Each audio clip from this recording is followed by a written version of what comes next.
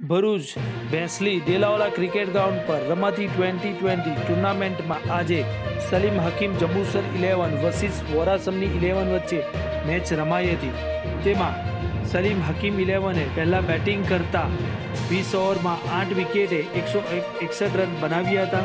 તેમાં મુન્નાભાઈએ પચીસ બોલમાં ઓગણચાલીસ રન કર્યા હતા. તેમાં આઠ ફોર ફટકારી હતી. વોરાસમનીના બોલર સફવાન એન પટેલે ચાર ઓવરમાં એક મેડન આપી, ત્રીસ રન આપી, બે વિકેટ લીધી હતી. વોરાસમની ઇલેવન, એકસો એકસઠનો સ્કોર રન ચેસ કરવા. વીસ ઓવરમાં આઠ વિકેટે એકસો બાવન રન જ બનાવી શક્યા હતા.